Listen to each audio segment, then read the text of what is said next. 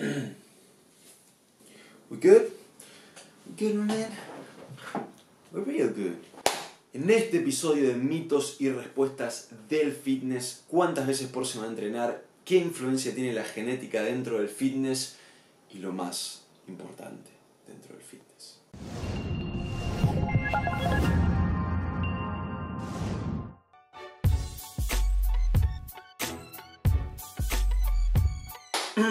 No existe una respuesta fija si ese es el número. Ese es lo que todos tendrían que estar fucking haciendo, problema resuelto. Porque todos somos un mundo, medio brillado, pero es así. Todos somos un mundo, todos somos diferentes, entonces la cantidad de días que tendríamos que estar, estar entrenando depende de cada uno. A rasgos generales, lo ideal o un número que como de referencia para partir es cuatro veces por semana. Cuatro veces por semana asumiendo que estamos descansando bien, comiendo bien, es un muy buen número. Si sos muy inicial, iría más por el 3 por semana. Pero entrenar 4 veces por semana haciendo las cosas bien y si más o menos no estás muy mal físicamente, vas a estar bien. Y si sos un poco más avanzado, 4 veces por semana entrenando bien te va a servir muchísimo, pero también podrías, estar haciendo 5 y quizás te conviene entonces 4 por semana es como así una generalidad que vendría bien para cualquier lado. Siempre si sos más inicial puedes estar más por el 3 veces por semana, más si estás recién, recién empezando. Y si sos más avanzado, 5 por semana o hasta 6 veces por semana, no todos los días fuerte, pero quizá de los 6 días uno es abdominales, otro es un poco de puntos débiles y otro de los 4 días es más entrenamiento completo.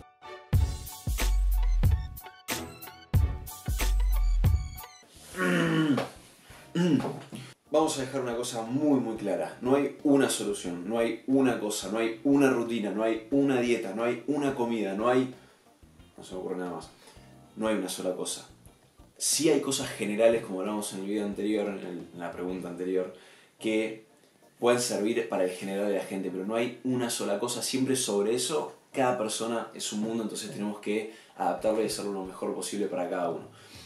Para los abdominales lo que sí hay que tener en cuenta, uno es que son un músculo más. Y como cualquier músculo reaccionan a si lo estimulamos de una forma que lo, lo haga pensar que tiene que progresar. Entonces, si nosotros entrenamos abdominales así nomás, vamos a tener abdominales así nomás. Si nosotros, en cambio, lo, lo, tratamos como un músculo más y decimos, ok, vamos a entrenarlo con peso, vamos a entrenar las diferentes partes de los abdominales, como uno entrena las diferentes partes de la espalda y no entrena solo una parte. Esto es los dos oblicuos que tenemos, el transverso abdominal, la, pared abdominal, este, trabajarlos con diferentes ejercicios y diferentes formas, algunos con mucho peso, a veces con más repeticiones, a veces de manera isométrica. Este, todo eso, como cualquier otro músculo, hace que sea un, un entrenamiento completo de abdominales. Acá van a tener, no sé dónde lo voy a poner, un video para ver una, una, explicación más que nada de las partes los abdominales que les puede servir mucho y ahí habla más que nada de marcar la B, pero véanlo que les va a dar como una noción más completa de las diferentes partes que tenemos en, los abdominales o los diferentes tipos de músculos abdominales que tenemos para enfocar mejor el, el, trabajo. Y también van a tener una rutina de abdominales, que también voy a dejar el video por acá, para que vean un ejemplo. Sobre ese ejemplo pueden hacer un poco lo que quieran. ¿sí? Pueden, no, hace falta que siempre hagan el mismo ejercicio de elevación de piernas, pueden variarlo un poco y probar otros ejercicios. Entonces siempre vean formas de tener las bases cubiertas, entrenar las diferentes partes de los abdominales, entrenarlo fuerte, entrenarlo de diferentes maneras y sobre eso pueden jugar un poquito. Y a lo largo de la semana pueden entrenarlos 3, 4, 5 veces, 3 por lo menos estaría bueno que los entrenan y a, y a partir de ahí pueden seguir progresando.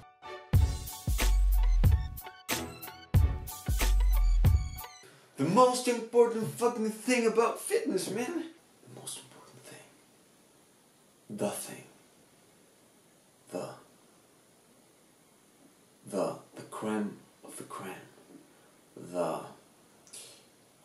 Lo más importante del fitness, lo más importante del fitness no es la rutina, no es, el, no es el, el plan de alimentación, no es las recetas, no es la comida, no es nada de eso. Lo más importante del, fit, del fitness y para cualquier cosa en general es tener dos, capac dos capacidades.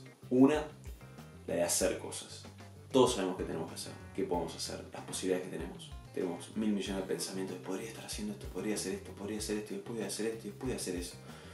Pero hacerlo es lo difícil, porque cuando lo hacemos nos damos cuenta que no es tan fácil, que no sabemos por dónde empezar, que este, no es tan mágico como pensamos que parecía, bla, bla, bla, bla, un montón de cosas. Entonces la, la capacidad uno es hacer cosas, ir a entrenar, aunque sea media hora, aunque te sientas mal, aunque, o comer, empezar a comer, eh, hacer lo que sea, pero hacer, hacer cosas, porque ahí aprendemos, ahí tenemos feedback, ahí podemos ajustar y podemos volver a empezar, podemos hacer nuevas cosas y nos motiva a hacer cosas. Y por otro lado, la segunda habilidad más importante dentro del fitness y de cualquier cosa también es seguir haciendo cosas aunque el contexto no esté apoyando lo que nos está pasando o lo que queremos que pase. De las dos cosas, de las dos maneras, por ejemplo, si empezamos a hacer cosas y nos fue muy mal, nos fue para la bosta y no sabemos qué hacer y estamos perdidos y bla bla bla, tener la habilidad de decir, ok, fuck it, fuck it, voy a seguir haciendo cosas, no me importa lo que pasó. Entonces, enfocarnos en ahora lo que podemos hacer y no estar pensando en el futuro, de preocuparnos por ansiedad, por algo. Y si hago esto, entonces podría pasar esto, entonces bla bla, o qué va a pensar esta persona, que eso por un lado y por otro en el pasado. Pero hice esto y no me funcionó y, y ahora no sé porque que, mira lo que hice, entonces no sé si a la gente le va a gustar o no sé si a mi mamá le va a gustar porque va a pensar esto y yo ya hice esto. Fuck it, olvídate. No es que, te está, no, es que no te importa la llave, no te importa lo que dice la gente, lo que dice tu mamá. No, men, o sea, es fucking usar el sentido común. Es, te importa, pero haces lo que vos querés para tu vida. Entonces, es esas dos habilidades, la de hacer cosas y la de seguir haciendo cosas, por más que el contexto que esté pasando no sientas que te está apoyando y poder seguir moviéndote, son las dos cosas más importantes en el fitness.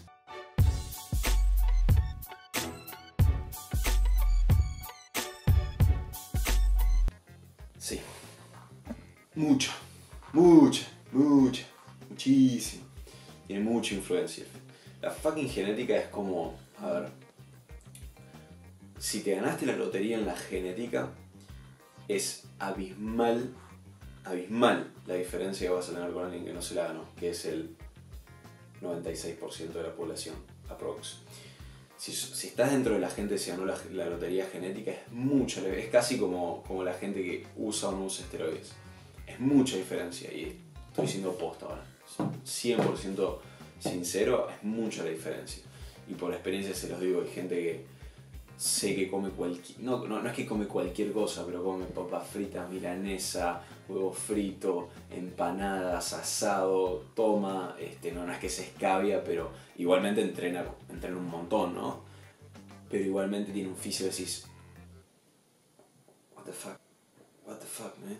¿Cómo es posible que tengas esa persona, ese físico, haciendo lo que hace? Ese es el nivel que llega la genética. Pero, dicho esto, no hay fucking excusa.